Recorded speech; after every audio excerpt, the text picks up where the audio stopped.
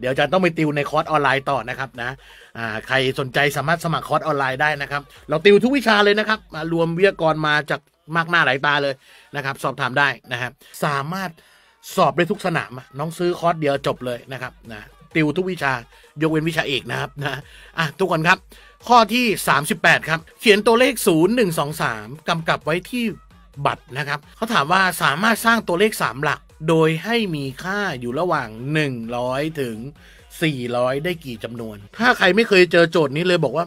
ถ้าไปนั่งไล่ทีละตัวเนี่ยลำบากแน่นะครับ เขาบอกว่าเลข 3 หลัก ถ้าเราเรียนผ่านตอนมัธยมมาเนี่ย น้องจะรู้ว่าเลข 3 หลักเราต้องทำไงครับ ขีดเส้น 3 เส้น หลักร้อยหลักร้อยอย่างนี้เห็นไหมขีดเส้น 3 เส้นแบบนี้นะครับ น้องก็จะได้เป็นหลักหน่วย หลักหน่วย หลักสิบอ่าแล้วก็หลักร้อย อันนี้เป็นเบสิกเลยนะ แล้วก็เอาทั้งสามหลักเนี้ยพอหามาได้แล้วก็มาคูณกันนะครับ แล้วยังไงเอ่ย แล้วหนูจะใส่อะไรไปที่ตัวที่ขีดขีดเนี่ยจะใส่อะไรไป เลือกเลขลงไปใส่ครับ เลือกเลขลงไปใส่ โดยหลักๆเขาจะเลือกหลักที่มันมีปัญหาก่อน ในข้อนี้เขาพูดถึงเลขสามหลักครับ แสดงว่าเลขที่มีปัญหาคืออะไรครับ หลักไหน โอ้โหหนูมีปัญหาทุกหลักเลยค่ะอาจารย์คะนะหลักหนูก็มีปัญหาครับนะทุกคนเออเราเห็นหลักร้อยเนี่ย มันมีปัญหาครับ เพราะว่าตรงนี้มีเลขศูนย์ด้วย ถ้าเกิดเลขหลักร้อยเป็นเลขศูนย์เนี่ยเขาจะไม่เรียกเลขสามหลักนะครับ เพราะฉะนั้นเลขที่สามารถใส่ได้ตรงนี้คือมีเลขหนึ่งเลขสองเลขสามมีทั้งหมดกี่เลขสามเลขให้น้องใส่เลขสามตรงนี้ไปขออนุญาตเปลี่ยนเป็นสีแดง เลขสามปากกาแดงตัวนี้ไม่ใช่หมายความว่าเลขที่เป็นสามนะครับ เลขที่เป็นเลขสามสีแดงตรงนี้หมายถึงว่าความเป็นไปได้มันมีทั้งหมดสามเลขคือหนึ่งสองสามนี่คือเขาหลักกฎการนับของคณิตศาสตร์ครับน้องอันนี้อันนี้น้องน้องน้องต้องรู้ไว้ว่า แต่ละหลักมันเกิดอะไรได้บ้างนะครับนะเหมือนเช่น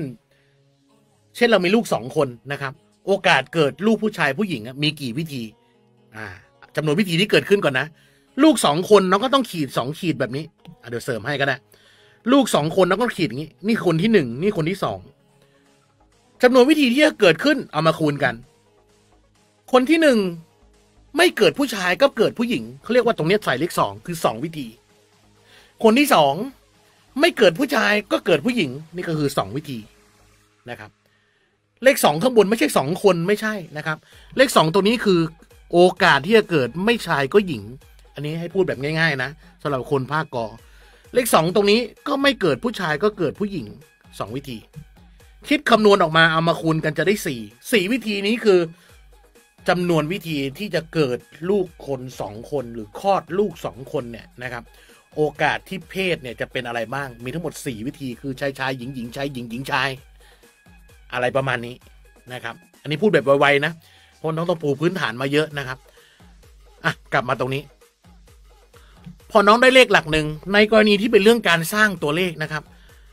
เขาบอกเขียนตัวเลขกำกับไว้ในบัตรนะฮะแสดงว่าน้องจะต้องใส่ซ้ำไม่ได้ เพราะบัตรหนึ่งใบคือตัวเลขหนึ่งเลขนะครับ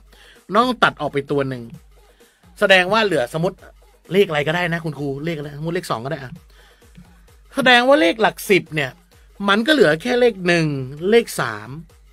แล้วก็เลขศูนย์อย่าลืม มันมีเลขศูนย์ด้วย แล้วก็เลขศูนย์ตรงนี้ก็ต้องใส่ได้สามวิธี แล้วเนื่องด้วยมันใส่ซ้ำไม่ได้ แล้วก็ตัดออกไปตัวหนึ่งอะเลขหนึ่งก็ได้อะตัดออกไปตัวหนึ่งแสดงว่าตรงนี้ก็เหลือเลขแค่เลขสามกับเลขศูนย์เหลือเลขสองอ่าใส่เข้าไปเลขสองเห็นไหมเพราะนั้นการใส่ซ้ำไม่ซ้ำเนี่ยสำคัญนะฮะใส่ซ้ำหรือไม่ซ้ำอะสำคัญมากๆนะครับก็ค่อยหยิบตัวเลขออก แล้วหลักไหนที่มีปัญหาไปเปลี่ยนหลักนั้นก่อน ในกรณีนี้อย่างข้อนี้หลักร้อยมีปัญหา เพราะหลักร้อยจะเป็นเลขศูนย์ไม่ได้ มันก็เหลือเหลือแค่เลขหนึ่งเลขสองเลขสามนะครับ อันนี้ถือว่าใจดีพอสมควรนะ ที่เหลือน้องเอาเลขมาคูณกันครับสามคูณสามได้เก้าเก้าคูณสองได้สิบแปดคำตอบข้อนี้จึงตอบสิบแปดครับสิบแปดตอบช้อยข้อที่สองครับนี่ก็จะเป็นข้อสอบที่ออกข้อสอบมาในปี 63 นะครับ อาจารย์จำมาได้ทั้งหมด 38 ข้อนะครับ ก็ถือว่าปีนั้นมีร้อยข้อ ปี 63 มีร้อยข้อ บวกภาษาไทยด้วยนะครับ บวกความสามารถด้านเหตุผลด้วย เพราะฉะนั้นอันนี้อาจารย์เชื่อว่าเกินหนึ่งในสามแล้วนะครับ คือทั้งหมดนี้เนี่ยน้องสามารถไปดูย้อนหลังตาม EP ต่างๆ ได้นะครับ จะดูในเพจรวมพลคนสอบครูผู้ช่วยกับยุทธพงษ์ชัยติวเตอร์ก็ได้ หรือจะเปิดใน YouTube น้องพิมพ์ YouTube เข้าไปนะ นี่ YouTube ครับ s t e c h 4 com ครับ อาจารย์ได้จัด playlist ไว้เรียบร้อยแล้ว วันนี้เห็นข่าวเข้าวๆมาแล้วนะครับ ท้องถิ่นนะ เตรียมตัวนะครับ ท้องถิ่นนะครับ เตรียมตัวน้องก็จะเจอคณิตไทยอังกฤษเหมือนเดิมแหละนะครับจะหลักสูตรใหม่หลักสูตรเก่าน้องเตรียมอ่านไปนะครับ คณิตไทยอังกฤษนะครับ เตรียมอ่านได้เลยครับสามวิชานี้นะแล้วก็กฎหมายของท้องถิ่นสอบท้องถิ่นจะไม่สอบกฎหมายท้องถิ่นก็เป็นไปไม่ได้ เพราะฉะนั้นเตรียมตัวเถอะครับนะวันนี้อาจารย์เห็นหนังสือที่ประชุมคร่าวๆแล้วแหละนะครับ ก็เตรียมตัวไว้เถอะนะครับ เร็วๆนี้แน่นอนนะครับ น่าจะเป็นน่าจะบรรจุทันเดือนมกราปี 64 นะครับ อันนี้ก็ฝากพวกเราไว้ด้วยนะครับ เรื่องข่าวสารนะ ตามนะครับ ตามดีๆนะ แล้วอย่าเพิ่งท้อใครที่